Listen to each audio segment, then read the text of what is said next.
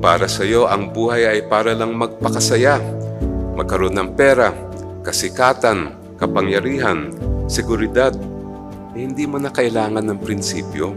Sa kabilang banda, kung ang buhay para sa iyo ay higit pa sa mga bagay na ito, kung ang kaligayahan ay higit sa pagpapakasaya, ang respeto sa kasikatan, ang karapatan sa kapangyarihan, at kung higit ang kapayapaan ng kaluluwa sa seguridad, kung ang kamatayan ay hindi winawakasan ng buhay, kundi binabago ito.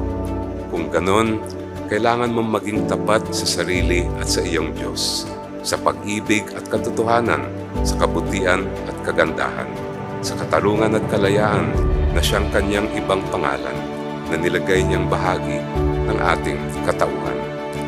Kailangan mong magpasya para sa sarili kung alin dito ang ibig sabihin ng buhay para sa iyo.